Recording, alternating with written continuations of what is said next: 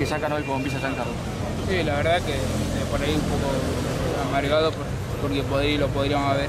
ganado y nos podríamos haber alejado un poco y, la verdad que, un poco caliente porque por ahí tuve en la cabeza el, empate y inclusive por ahí con el gol de Nico podríamos haberlo ganado con la media vuelta esa que, justo me quedó, pero, pero la verdad que por ahí en los últimos minutos este, creo que, la, tuvimos a la pelota, jugamos y yo creo que con lo que, con lo que dejamos en la cancha y con los últimos minutos que, nos, que, pudimos jugar, yo creo que, que, vamos a andar bien, lo que falta es concretarnos. Pero otra vez